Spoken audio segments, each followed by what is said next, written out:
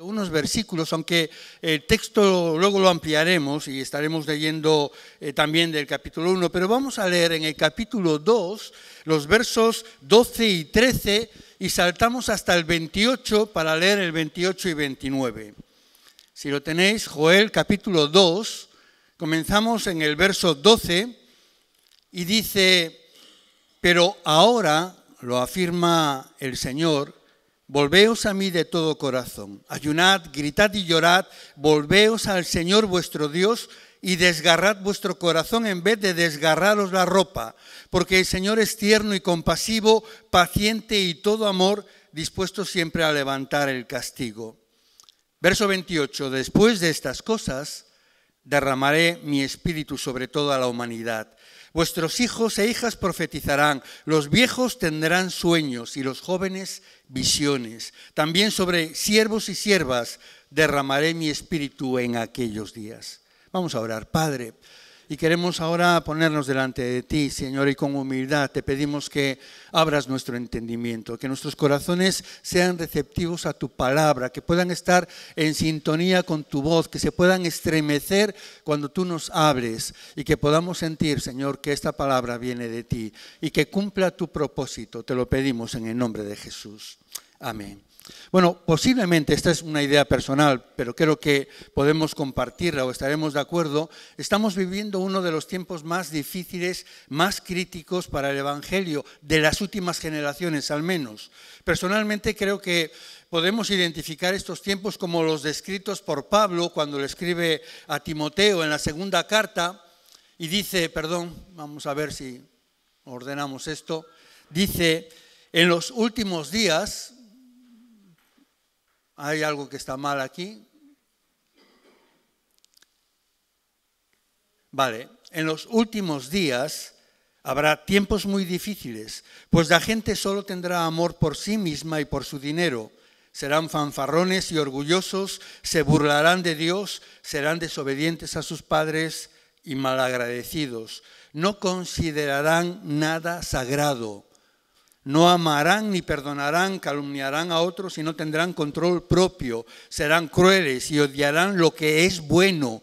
Traicionarán a sus amigos, serán imprudentes, se llenarán de soberbia y amarán el placer en lugar de amar a Dios. Pareciera que el escritor de este texto eh, ha escrito una columna en el periódico en, nuestra, en nuestro contexto, ¿verdad? En nuestra sociedad, describiéndola de forma muy certera. Sin duda alguna, entiendo que también esto lo que hay por detrás es que estamos inmersos en una guerra espiritual donde huestes espirituales de maldad están actuando para destruir los cimientos de la familia, de la iglesia y de la sociedad. Hay una gran ola de cristianofobia en el mundo. Ahora mismo, mientras estamos aquí hablando, 360 millones de cristianos sufren por su fe altos niveles de persecución o discriminación. Uno de cada siete creyentes está siendo perseguido en el mundo en la actualidad. Muchos están sufriendo torturas físicas. Este año más de 5.000 iglesias han sido atacadas. Casi 6.000 creyentes han sido asesinados únicamente por su fe. Pero si bien esto es terrorífico, es cierto que a lo largo de la historia siempre ha existido persecución y esto no ha podido acabar con la iglesia. Al contrario, la sangre de los mártires ha sido ¿verdad? Ha sido una semilla que ha florecido y ha hecho progresar a la iglesia y ha convertido, la ha hecho más fuerte. En realidad, estoy convencido de que la persecución más peligrosa que estamos sufriendo es la ideológica es aquella que se instala sutilmente en el pensamiento de la gente y niega la eficacia de la fe y socava los fundamentos, de tal manera que incluso dentro de la propia iglesia cada vez más iglesias están acogiendo el pensamiento liberal por el que muchas veces todo es muy subjetivo, donde la palabra de Dios ya no es la palabra de Dios, sino que contiene la palabra de Dios y ahí podemos reinterpretar dependiendo de muchas consideraciones subjetivas, o si no, hay un sincretismo donde cada uno construye su propia espiritualidad, tomando aquello que le gusta y desechando lo que le incomoda. Y a todo esto tenemos que sumar esa crisis global que tiene que ver con la pérdida de valores, con el cambio climático, la crisis económica, la guerra, la inflación, el coste de la, de la electricidad, etcétera, etcétera, etcétera. Y ante toda esta situación, uno a veces puede sentirse agobiado, en estrecho, apretado, ¿verdad? Diciendo, ¿y cómo salimos de esta? ¿Cuál va a ser la solución? ¿Qué se puede hacer para cambiar todo esto? Y os digo que estoy convencido que la conclusión a la que yo he llegado es que la mayor necesidad que tenemos en nuestra generación es de un poderoso avivamiento espiritual, que es la única solución a la situación que estamos viviendo. Pero a lo mejor alguno piensa, bueno, pero en un contexto como el que vivimos, ¿cómo vamos a esperar un avivamiento? En un contexto de tanta tibieza entre las iglesias, de tanto desconocimiento de la palabra, de tanta frialdad, ¿cómo vamos a esperar un avivamiento? Y quiero recordarte que los grandes avivamientos en la historia nacieron precisamente de las crisis. La crisis no es un impedimento para la acción de Dios. Al contrario, muchas veces es la puerta que abre camino para que Dios se presente a su iglesia. Porque cuando el hombre no tiene salida a sus problemas, se vuelve a Dios. Y entonces Dios, Dios abre un camino donde no lo había. Abre un camino en el desierto, un nuevo camino en el mar. Y es precisamente en un contexto muy parecido al nuestro, un contexto de una gran crisis, que el profeta Joel llama al pueblo a que busquen un avivamiento, a que hagan reset, a que reinicien su vida espiritual, a que hagan un giro profundo hacia Dios y se vuelvan a Él. En el contexto de Joel había cuatro problemas que estaban estrangulando a la nación de Judá. En una economía, recordad, eh, eminentemente agrícola y ganadera, como era en este tiempo, vamos a considerar qué es lo que estaban ellos viviendo. Y acompañadme, por favor. En primer lugar, hay un ataque espectacular, singular, como nunca antes se había vivido de plagas. Lo podemos ver en el capítulo 1, verso 4 de Joel, donde leemos que lo que no se comió la oruga, se lo comió la langosta. Lo que no se comió la langosta, se lo comió el pulgón. Y lo que no se comió el pulgón, se lo comió el saltamontes. Si os dais cuenta, esto no es una situación normal en que una plaga afecta a los cultivos, sino que se llegan a juntar hasta cuatro plagas de una forma simultánea y sucesiva, enormemente devastadoras, de modo que lo que sobrevive a la primera plaga es devorado por la segunda y lo que sobrevive a la segunda es devastado por la tercera y aún viene una cuarta. En segundo lugar, nos habla de sequía. Dice en el verso 10 del capítulo primero, los campos están desolados, las tierras de luto, el trigo se ha perdido, las viñas se han secado y los olivos están marchitos. Es un escenario de una sequía severa donde la lluvia no cae, la tierra no da alimento, los almacenes están vacíos, en las mesas no hay comida, pero no afecta solo a, cereal, a los campos, a los cultivos. Mirad, dice en el verso 12, se han secado las viñas y se han perdido las higueras, secos quedaron también los granados, las palmeras, los manzanos y todos los árboles del campo. Así se ha perdido la alegría de toda la gente. Y si notáis, todos los árboles mencionados son árboles frutales, donde precisamente la fruta consistía en la base de la alimentación del pueblo. Por tanto, estamos hablando de una crisis alimentaria que no solo es una carencia de alimentos, sino una cuestión ya de supervivencia, de poder sobrevivir a este clima, a esta situación de sequía severa, de plaga de insectos. Pero aún hay más. En el verso 17 dice que la semilla murió en el surco, el trigo se ha perdido y los graneros están en ruinas. Y lo que apunta aquí es que el pueblo, incluso en este contexto de ataque de plagas, de sequía, la gente llega al final a tomar las pocas semillas que guardaba, el resto que le quedaba, y en su desesperación, en un contexto de sequía, las planta con la esperanza de que germinen y puedan tener al fin una cosecha que palíe su hambre, pero las semillas mueren en el surco porque no hay nada de agua, de tal manera que pierden ya no solo las cosechas, sino la posibilidad del futuro. pierden la esperanza, pierden, como decía, su futuro. Y a esto tenemos que sumarle una crisis ganadera. Dice en el verso 18, cómo muge el ganado, en vano buscan pasto las vacas y los rebaños de ovejas se están muriendo. No solo no tienen frutos, ni cereales, tampoco tienen carne, ni leche, ni ningún tipo de alimentos. La nación está asolada por una crisis alimentaria sin precedentes. Y no se queda aquí, sino que en el capítulo 2 el profeta Joel va a describir una invasión militar. Lo más probable es que esté describiendo los días de rey Ezequías, cuando el reino del norte, cuya capital es Samaria, fue invadido por eh, Siria con Senaquerib, el rey Senaquerib al frente. Y la descripción que hace del pueblo es precisamente el pueblo sitiado, acorralado y que no está en condiciones de poder ofrecer resistencia a este poderoso ejército. Dice un ejército fuerte y numeroso se ha desplegado sobre los montes como la luz del amanecer. Nunca antes se vio ni se verá jamás nada que se le parezca. Son como el fuego que todo lo devora, que ya quema antes de pasar y aún después de haber pasado. La tierra que antes de que llegaran era un paraíso, después de que se han ido parece un desierto. No hay nada que se les escape. ¿Os dais cuenta de que describe una situación de crisis económica, de una crisis climática, una crisis social, una crisis política, crisis por todas partes? Y la pregunta del pueblo es, ¿qué hacer en un momento como este? Pues es en un momento como este, en un tiempo sin salida, cuando precisamente Dios llama a su pueblo a un arrepentimiento profundo y sincero, volveos a mí de todo corazón.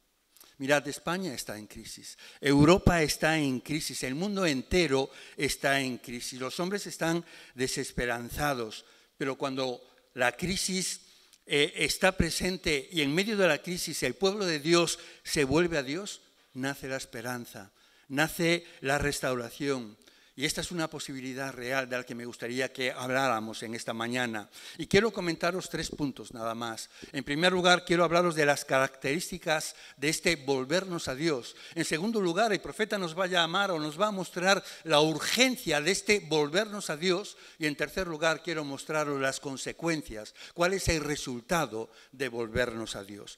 Comenzamos en el primer punto. ¿Cuáles son las características de este volvernos a Dios. Y en primer lugar es una vuelta a una relación personal con Dios. Dice el profeta, volveos a mí. Es Dios el que habla a través del profeta y está llamándonos, volveos a mí. Y lo que está diciendo, en primer lugar, es que por terrible que sea la crisis, hay una salida. Pero esa salida no está en la política, esa salida no está en lo que puedan hacer los hombres, esa salida está en Dios. Volveos a mí. Pero no se trata de una relación institucional, no se trata de ser miembro de la iglesia o de asistir a los cultos, se trata de una relación personal entre tú y Dios, de conocer en la intimidad quién es Dios para ti, saber quién es Dios en tu vida y en tu historia, es rendirte por completo al Dios vivo y todopoderoso que puede levantarte y darte nuevas fuerzas y alegrar tu corazón. En segundo lugar, es una vuelta con profundidad.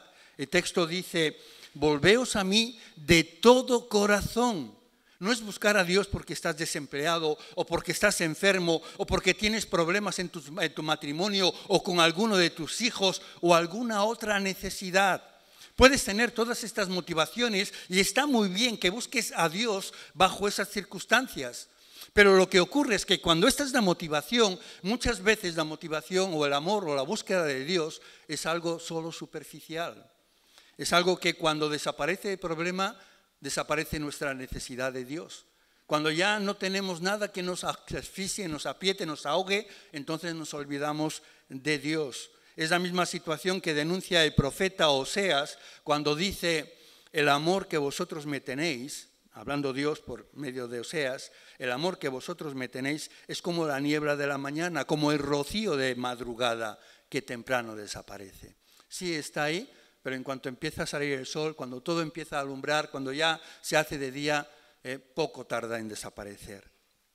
Y Dios quiere que vuelvas a Él con profundidad, con todo tu corazón, que Él sea el amado de tu alma, que Él sea el placer de tu vida, que sea el deleite de tu corazón, que sea tu mayor tesoro. En tercer lugar, es una vuelta a Dios dándole el lugar que le corresponde, poniéndolo en el primer lugar de tu vida. Dice el verso 12, volveos a mí de todo corazón, ayunad. Y parece que esta es una disciplina espiritual hoy en día menospreciada, ¿verdad? Y sin embargo tan importante. Lo que significa el ayuno es que cuando tú dejas el pan de la tierra para ayunar, estás diciendo que el pan del cielo es mucho más importante. El ayuno es hambre de Dios. Y nuestra generación está tan acostumbrada al sabor del pan de la tierra que hemos perdido el apetito por el pan del cielo. Estamos tan hartos de las cosas de la tierra que hemos dejado de mirar hacia el cielo buscando ese maná y nosotros necesitamos buscar a Dios, entendiendo que no solo de pan vivirá el hombre, sino de toda palabra, palabra que sale de la boca de Dios. El ayuno es cuando te abstienes de lo bueno para conseguir lo mejor. Y necesitamos volver a Dios, deseando a Dios más que las bendiciones de Dios, deseando la presencia de Dios más que el dinero o, o, la felicidad o el éxito o los placeres o la salud o cualquier otra cosa. En cuarto lugar, es una vuelta con quebrantamiento. Continúa diciendo el texto, volveos a mí de todo corazón, ayunad, gritad y llorad. Y temo que muchas veces buscamos a Dios con los ojos demasiado secos. No sé cuándo fue la última vez que lloraste buscando a Dios, cuando te volviste hacia Dios. ¿Cuándo fue la última vez que lloraste, como lloró Nehemías al enterarse de la dramática situación que estaba viviendo su nación? ¿Cuándo fue la última vez que lloraste como lloró David al ver a su familia en manos del enemigo? ¿Cuándo fue la última vez que lloraste como lloró Pedro por su pecado? ¿Cuándo fue la última vez que lloraste como lloró Jesús al ver la situación de Jerusalén, de la iglesia? Es hora de llorar. Llorar por nuestros pecados, llorar por nuestras familias, llorar por el estado de nuestra nación, llorar por la situación de la iglesia. Y en quinto lugar es una vuelta con sinceridad. Dice, volveos al Señor vuestro Dios y desgarrad vuestro corazón en vez de desgarraros la ropa. Mirad, en la antigüedad, cuando la gente experimentaba un gran dolor o experimentaba una gran tristeza o veían algo que les resultaba escandaloso o sentían vergüenza por un pecado grave, solían recurrir a rasgar la ropa. En algún momento algo, alguien empezó a hacerlo y, cundió el ejemplo y la gente recurría a rasgar la ropa como un símbolo que lo que venía a significar era que esto que está ocurriendo rompe mi corazón, me está rompiendo el corazón, no aguanto más. Pero en algún momento el acto de rasgar las vestiduras se convirtió en una costumbre, en un rito. El símbolo sustituyó a la realidad se convirtió en un gesto más de una espiritualidad farisaica, hipócrita, un teatro espiritual. De repente empezamos a fingir una espiritualidad que no tenemos. Empezamos a realizar performances espirituales donde transmitimos una imagen de que somos gente de Dios o gente de oración, pero que no es real. A veces cuando oramos, lo habréis visto, ¿no? Hay personas que de una forma instantánea, están hablando normal, les toca orar y cuando van a orar ponen una voz, hay una vocecita temblorosa. Oh Dios, te pedimos, no sé qué. Y, cuando terminan de orar ya es normal, ¿no? A mí me, me causan impacto. A veces digo, pero esto, ¿por qué? Si tú no estás tan emocionado, ¿cómo eres capaz de en este momento hablar de esta manera. Y me suena, os lo digo con sinceridad, y no es un juicio, ¿no? pero muchas veces en mí mismo, cuando eh, he tenido quizás tentación de, hacer algo parecido, de impostar alguna, algún gesto o algún tono de voz, me siento mal, ¿no? porque creo que queremos transmitir la idea de que somos espirituales porque carecemos de esa espiritualidad de una forma real y no podemos mostrarnos de manera natural. A Dios no le importa nada de esto que hacemos, porque Él mira el corazón. Y es lo que tenemos que tener claro. Él no va a aceptar una espiritualidad fingida. Él no va a aceptar una espiritualidad solo de apariencia externa. Dios quiere que volvamos a Él con sinceridad de corazón. Y el segundo punto tiene que ver con lo que el profeta nos muestra y es la urgencia de volvernos a Dios. Mirad el comienzo del versículo 12. Dice, pero ahora, lo afirma el Señor, volveos a mí de todo corazón. ¿Y qué significa este pero ahora? Recordáis que la situación era de crisis generalizada, como ya hemos comentado, la economía estaba arruinada. Si leéis el capítulo 1 vais a ver que también esta, esta crisis afectaba a la iglesia. No había ofrendas, ni había sacrificios y los sacerdotes lloraban porque se encontraban allí sin poder hacer nada. El campo no daba fruto, el ganado estaba muriendo de hambre, en el escenario político un imperio extranjero estaba a punto de conquistar la ciudad, la crisis era terrible, el juicio que era lo que ocasionaba toda esta crisis, había sido dictaminado, la situación parecía irremediable. Y tal vez tú veas tu vida, tu familia, la situación de crisis general y pareciera que hemos tocado fondo, ¿verdad? La degradación de la familia, la depravación moral, la pérdida de valores, la violencia, el cambio climático, la inflación, la guerra, el desempleo, la crisis económica, el mal siendo aplaudido, lo bueno siendo atacado. Y ante esta situación quizás te dices, bueno, ¿y a dónde vamos a ir? ¿Cuál es la salida? Y Dios está diciendo, pero ahora. Y lo que significa es que es cierto, esta es la situación que estamos viviendo, es en este contexto en el que nos ha tocado vivir, pero ahora, ¿eh? no sé si estáis entendiendo, si consigo explicar lo que quiero decir, pero cambia todo, es decir, esta es la realidad, pero le da la vuelta, pero significa hay otra realidad. Es verdad que es una crisis terrible, que estamos tocando fondo, pero ahora si os volvéis al Señor, Él puede cambiar esta dramática realidad en una nueva situación de victoria y alegría. Y esto es lo que quiere transmitirnos el Señor. Es verdad, las cosas están mal, parece que no pueden empeorar, pero ahora, si nos volvemos a Dios, Dios va a actuar. El destino de nuestra nación no está en las manos de los gobernantes. No es el gobierno de España el que va a llevar a cabo la restauración de nuestro país. Es el corazón de la iglesia.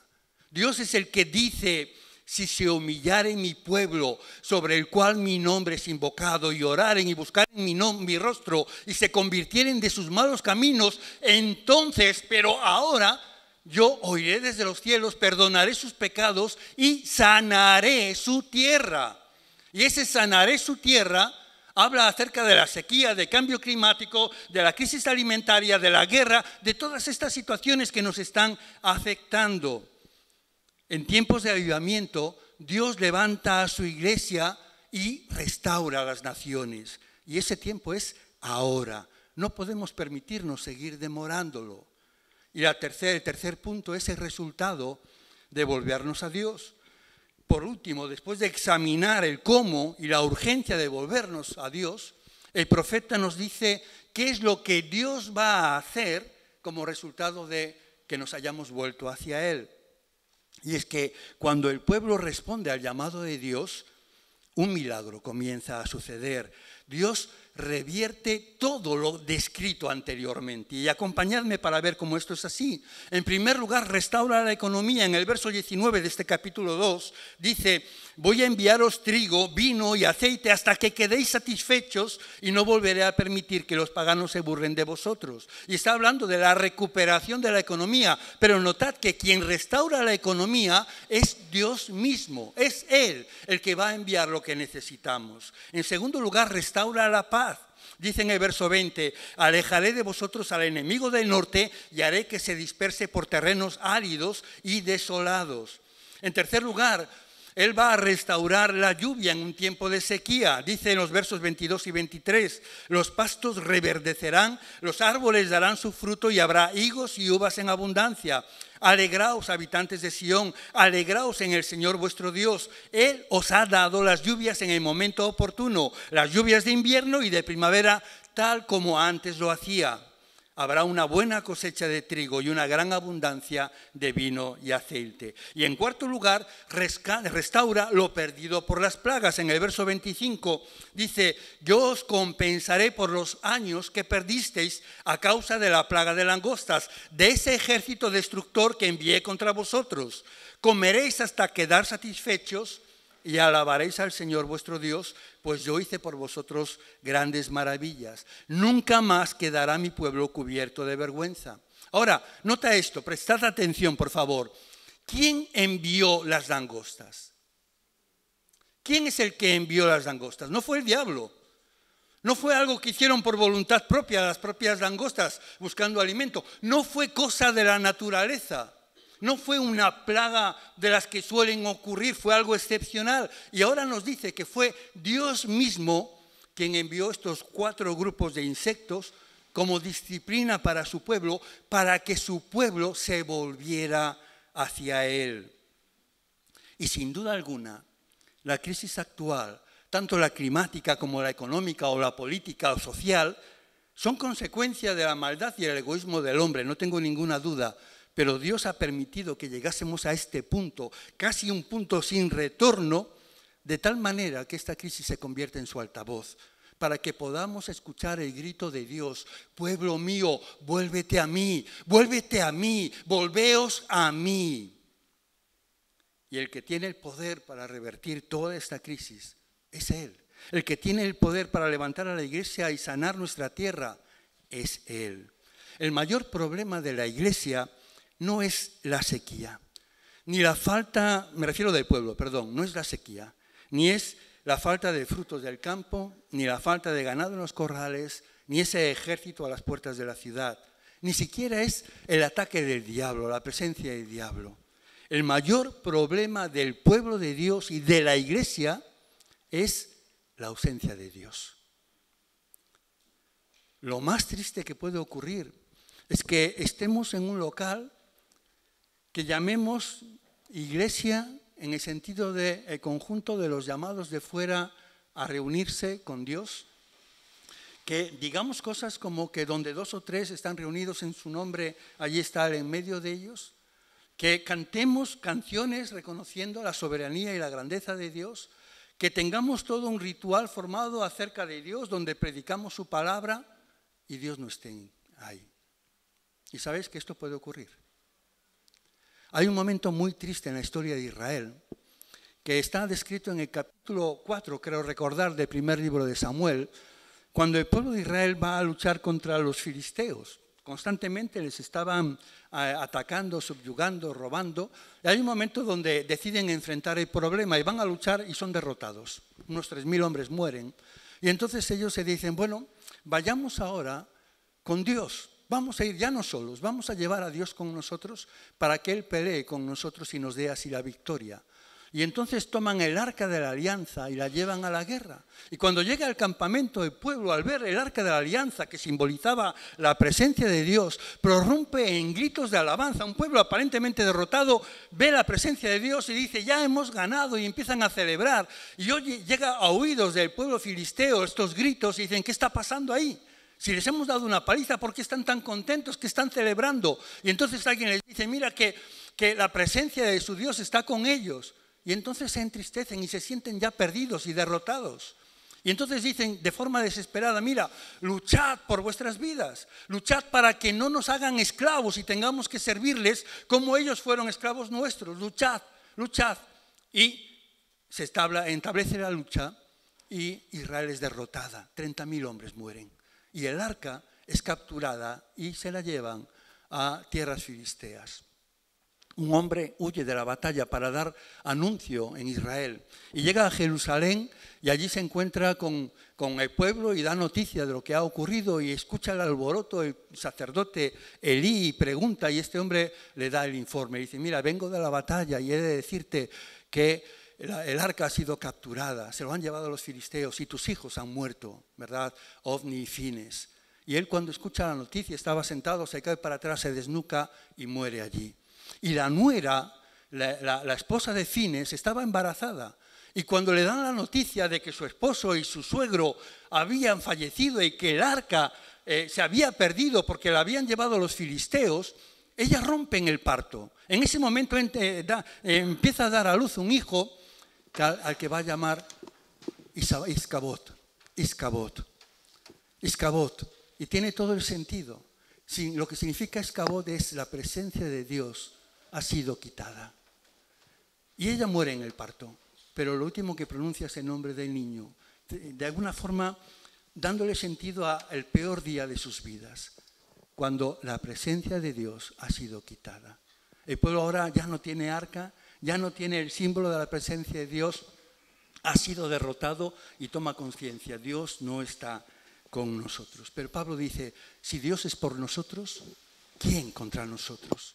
Lo que no podemos perder nunca es la presencia de Dios. Podemos perder el templo, podemos perder la salud, pueden ponernos en prisión, pueden perseguirnos, pueden prohibirnos predicar por las calles, podrán hacer lo que quieran. Lo que no podemos permitir que nos falte nunca es la presencia de Dios. Pero permitidme que, continúe un poco más. Dice los versos 28, en el verso 28, después de estas cosas, después de estas cosas, no antes, después, después de qué? Después de que el pueblo se vuelva a Dios con todo su corazón, con ayunos, con llanto, rasgando su corazón y no sus vestiduras, después de que el pueblo de Dios se vuelva a Dios, mira la promesa. Después de estas cosas, derramaré mi espíritu sobre toda la humanidad. Vuestros hijos e hijas profetizarán, los viejos tendrán sueño y los jóvenes visiones. También sobre siervos y siervas derramaré mi espíritu en aquellos días. ¿Y sabéis lo que pasó? que esta promesa de Joel se cumplió 600 años, poco más de 600 años después, en el día de Pentecostés. Y, cuando se cumple, la gente está asombrada preguntándose qué quiere decir esto. Y entonces Pedro se levanta ante la multitud y dice, esto es, es, lo que fue dicho por medio del profeta Joel. Sucederá en los últimos días, dice, dice Dios, que derramaré de mi espíritu sobre toda carne. Y continúa al final del mensaje diciendo, la promesa es para vosotros, para vuestros hijos y para todos los que están lejos, para cuantos el Señor nuestro Dios llame. Y esto lo que significa es que esa promesa de Joel es para ti y para mí, es para la iglesia unida de Vigo, es para nuestra generación, es para los que estamos hoy aquí, es para nuestros días. Esta semana estábamos estudiando en nuestros grupos de conexión acerca de la familia y el estudio comenzaba con una cita de Teresa de Calcuta. ¿La recordáis? Decía algo así como, no la recuerdo textualmente, pero ¿qué puedes hacer por cambiar el mundo? Y decía, ve a tu casa, llama a tu familia. Y me gustaría parafrasear un poco esta idea. ¿Qué puedes hacer para cambiar esta situación de crisis? ¿Realmente hay algo que tú puedas hacer para que cambie esta crisis global? Sí, hay algo que puedes hacer. Vuélvete a Dios. Vuélvete a Dios de todo corazón. Ayuna, rasga tu corazón, no tus vestiduras. Vamos a orar. Padre, te damos gracias, Señor, una vez más, porque es cierto que en medio de tanto ruido muchas veces nos cuesta escuchar tu voz, pero entendemos que tú nos estás hablando. Tú nos estás llamando a salir de la tibieza, de la comodidad, de la corriente que nos lleva para volvernos y volvernos hacia ti. Señor, entendemos que esta es nuestra mayor necesidad, que es solo cuando nos humillamos y oramos y buscamos tu rostro y nos convertimos de nuestros malos caminos, cuando tú prometes escuchar nuestra oración, cuando tú prometes perdonarnos y sanar nuestra tierra. Y es cierto que nuestra tierra necesita Señor, salud, necesita ser sanada de tanto mal que la afecta. Y oramos para que tu iglesia se pueda levantar, entendiendo, Señor, que, el mundo necesita, necesita de ti, pero no te va a conocer menos que tu iglesia le hable. Y tu iglesia no va a poder impactar en el mundo a menos que se vuelva hacia ti. Por eso te ruego, Señor, que pongas carga en nuestros corazones, que nos incomodes, que tu Espíritu Santo golpee nuestras conciencias y nos haga sentir el peso de nuestros pecados hasta llegar a llanto y que podamos determinarnos en que tenemos que volver a ti, que no hay otra esperanza, que no hay otro camino, que no hay otra solución. Fortalece nuestra voluntad, te lo pedimos en el nombre.